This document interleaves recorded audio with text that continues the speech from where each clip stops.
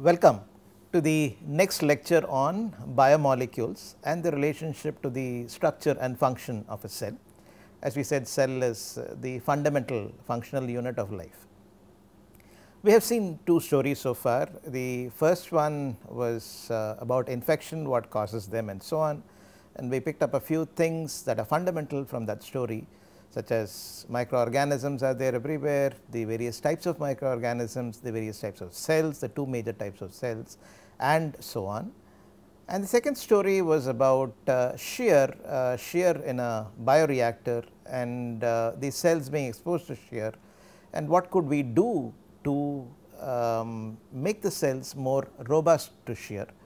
We said that we could do that by understanding what causes the shear sensitivity and when we looked at that we came across a fundamental biomolecule one of the four uh, major classes of biomolecules called lipids defined in a vague fashion. It is defined lipids are biomolecules that are soluble that are insoluble in water, but soluble in organic solvents.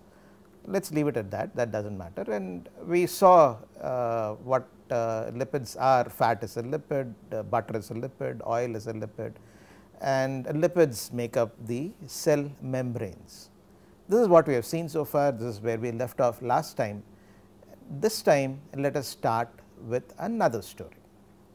The story is rather simple in its inception, but it goes on and it takes various uh, branches, various forms and we will probably learn some fundamental aspects from this story, various fundamental aspects we will keep going off track from the story into some side stories and then come back to the main story pretty much at the end of this module. Okay. Why does curd form is the question that we are going to ask to begin this story. So, before that how is curd made curd or yogurt as it is called in some countries. How is it made? It can be made at home. You take a vessel and uh, you put um, some milk into it right? Take a vessel here pour some milk into it. Milk is called the medium. This is a term that is used in biology biology biological engineering and so on. It's called the medium. Warm it up to let us say 37 degrees C in this particular case. Add some old curd to it okay old curd is the inoculum as it is called another term do not worry about it if uh, this term seems alien you will get used to it. Close it set it aside in a warm place and the mixture that has this inoculum medium initially and then something happens to the inoculum and something happens to the medium and all that is called the culture or the broth. In fact, the, the broth changes as time goes on when it is uh, set aside in a warm place and curd is formed in a few hours. Okay. The curd makers that maintain uh, this curd at 37 degrees C by plugging it into an electrical outlet, you can even get curd in about an hour and a half, 2 hours, very nice curd gets formed in maybe a couple of hours if a curd maker is used. At home it takes probably overnight uh, or maybe a few hours if you do it in the morning and so on. Okay. Let us use this as the basis for our story. Let us assume for a while that we know nothing about curd formation and ask the question why does curd form. Okay. Let us investigate this just by using the tools that some of us might know, some of us might be familiar with it is basic the tool is basically logic with some information the scientific method and so let us investigate curd formation using this method. Since curd is forming from milk something in the milk must be turning into curd right that is very logical. So, what does milk consist of? If you look at the data in this particular case this is the source of the data you do not have to worry about this paper this is just uh, additional information. If you are interested you can go and read this paper. It is not included in the list of references, but you could take it from here and read this paper. Milk typically contains predominantly water, protein, fat, lactose, minerals uh, predominantly here.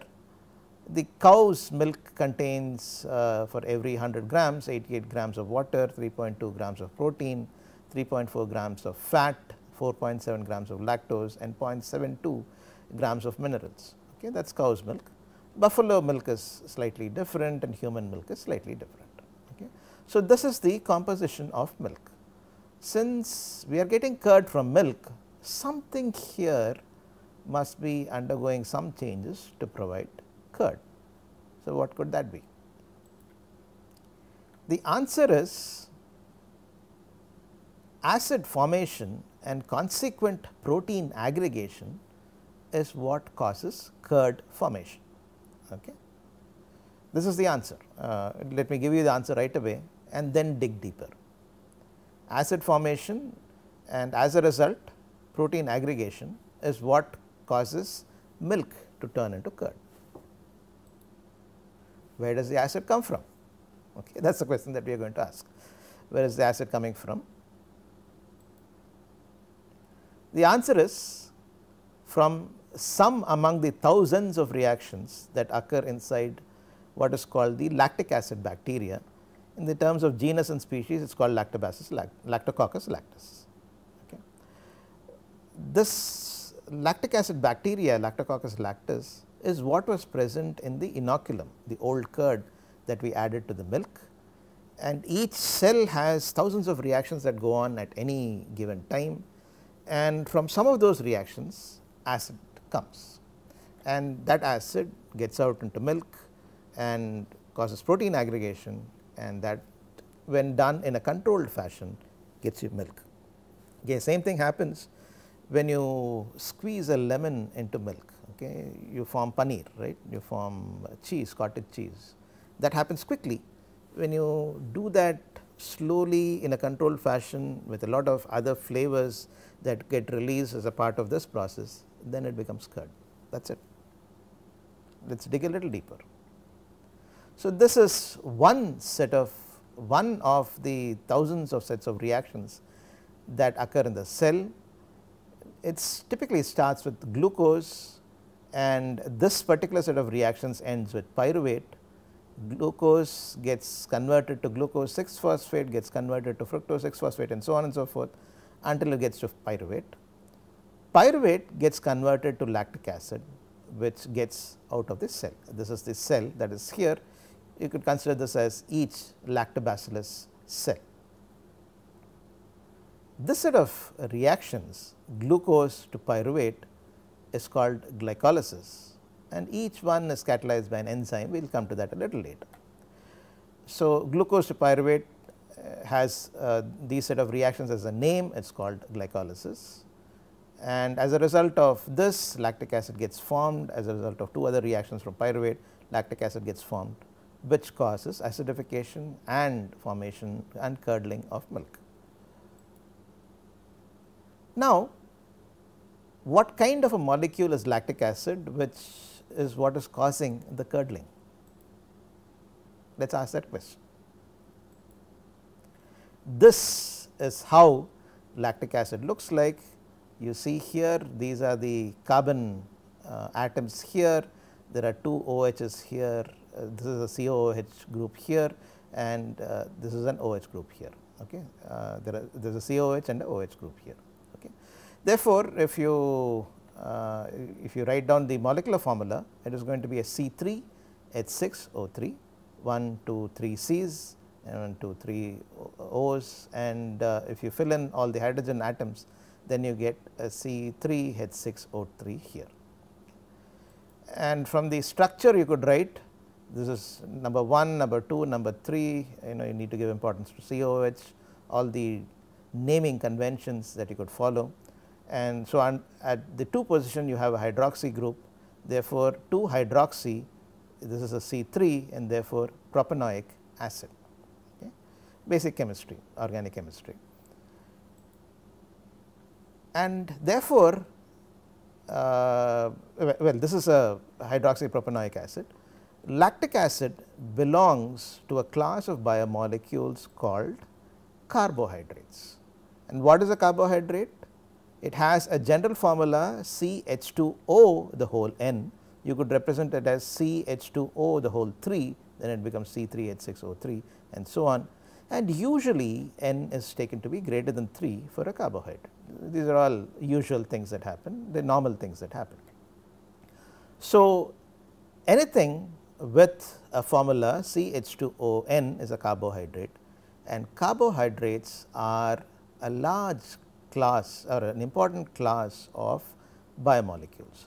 Earlier we saw lipids as one major class of biomolecules. Now we are seeing carbohydrates as the second major class of biomolecules. And these are all present in the various uh, as a part of uh, the reaction intermediates that happen uh, in the cell. Now let us look at the next part. We said acid formation and then protein aggregation. Okay. Now, what is aggregation? Okay, what do we mean by aggregation from a microscopic sense?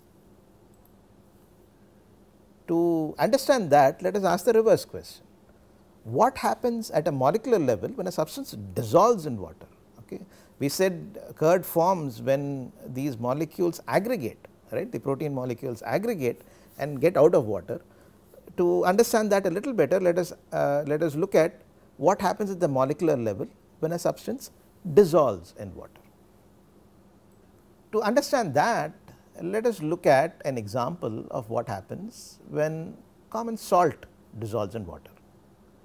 As you all know common salt is NaCl okay. and when it is dissolved in water it splits up into its ions Na and Cl and as you can see here Na gets surrounded by a set of water molecules, Cl gets surrounded by another set of water molecules, I mean another set of water molecules oriented differently. Na is positively charged and therefore, a certain orientation happens to the molecules of water that surround it which is different from the orientation that happens to the molecule of Cl that surrounds it. Okay. So, any substance that dissolves in water needs to have a set of water molecules that surround it. That is essentially what dissolution is at a molecular scale. Water happens to be an excellent solvent. Okay, now, we are off to one of our side tracks in the story. Uh, water is an excellent solvent. In fact, many properties of water impact life and uh, make life possible to begin with. Okay. Without water, probably there would not have been a life as we know it. Why is that? Water has very many important properties that make life possible. Okay. Water at a molecular level has very many important properties. Water molecules sticking together because of the hydrogen bonds between the various molecules of water, they tend to stick together a lot more than probably many other substances, many other compounds. What I just described is cohesion which is sticking together of the same kind. Adhesion is water sticking on to other surfaces that is what adhesion is. Okay. And adhesion to cohe and cohesion together determine a lot of uh, things that happen with life. Okay. I will give you a video which very nicely explains how adhesion and cohesion are entirely responsible for the way the water gets uh, distributed to various parts of a tree and what happens in various other things that uh, of life that are uh, relevant for water and uh, relevant in the context of water and so on. So, let me not get into this for the time being, but adhesion is the interaction of water molecules, the stickiness of water molecules to other surfaces, cohesion is sticking together of water molecules themselves. Okay. This results in high surface tension for example, cohesion and makes even some insects to be able to walk on water, the water strider and so on. This third one uh, is a very important aspect, the solid density, the density of ice form of water is lower than the liquid density. Okay. The water has the highest density at around 4 degrees C that we know and water becomes a solid ice at 0 degrees C. When it becomes a solid the structure of water actually opens up because it ne needs to have a crystal structure with the water molecules being kept at a certain distance because of the crystal needs and the density actually goes down a little bit and therefore, the solid ice density is lower than the liquid density. It is very rare, uh, you know, uh, not uh, many other substances in nature have this property where the solid is solid form is less dense than the liquid form at least at certain temperatures. What happens because of this in cold countries? Ice forms right? Ice forms on lakes rivers and so on and so forth. And when ice forms because of the lower density of ice ice floats. It does not sink to the surface. Because it floats the water below can support life uh, that depends on water. If it solidifies probably it not be able to support life. And so, this very property that the density of the solid is less than the density of liquid is what makes water what makes life possible in all those water bodies lakes rivers and so on and so forth in winter. We talked of surface tension and so on as a as an outcome of cohesion and I would like you to watch these two videos, uh, you can take these as compulsory, which explain nicely how these properties determine life, how these properties of water determine life and why water is such an important molecule which makes life possible. Okay. I think these are given in uh, under item 13 these two videos both are under item 13 please go and take a look at these videos they are very nice videos. Okay, let us continue. Now, we said that if a substance dissolves in water it means that it is surrounded by a layer of water molecules. Okay. So, if a protein is dissolved in water as in the case of a protein in milk then there is a layer of water molecules that surround the protein and keep the protein in solution right. This is an example of a protein called lysozyme which is an important protein in the human body.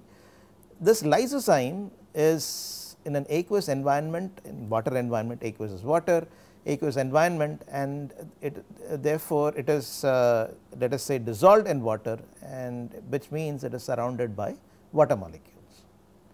So, we looked at what happens when a substance dissolved in is gets dissolved in water. But our original story was why curd forms and we said uh, acid formation we saw acid formation earlier and uh, which causes protein aggregation. So, let us look at protein aggregation now that now that we understand why something is in uh, solution. Aggregation happens when molecules fall out of solution okay they are they get attracted to each other because of the lack of water molecules that surround them and then they come together and fall out of solution. That is typically what happens when a substance falls out of solution. The reverse happens when the substance goes into solution and when there is not enough water surrounding it and they attract each other then it falls out of solution.